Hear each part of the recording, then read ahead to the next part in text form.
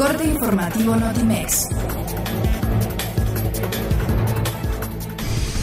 La Fiscalía General de la República imputó a Rosario Robles Berlanga el desvío de 5.073.358.846.25 pesos en contra del patrimonio de la nación, cuando estuvo al frente de la Secretaría de Desarrollo Social y de Desarrollo Agrario, Territorial y Urbano. La presidenta nacional de Morena, Jacob Polewski, señaló que es correcto y justo reducir el dinero de los partidos como sugiere el presidente Andrés Manuel López Obrador y afirmó que este instituto político puede renunciar a 75% de su presupuesto.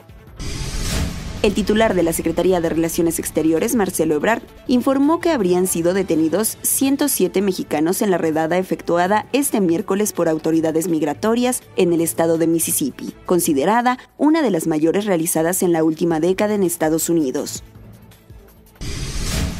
La gobernadora de Puerto Rico, Wanda Vázquez, descartó que exista un acuerdo para que renuncie al cargo y lo asuma la comisionada residente Jennifer González, quien asegura que está disponible para gobernar la isla caribeña.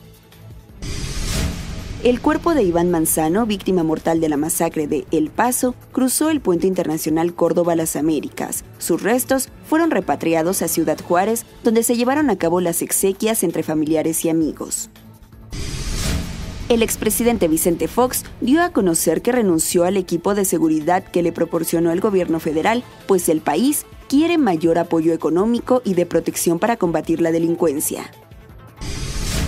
El fiscal general del estado de Michoacán, Adrián López Solís, informó que en tres hechos distintos se localizaron hoy 19 cuerpos en el municipio de Uruapan y atribuyó el hecho a la disputa entre grupos criminales de la región.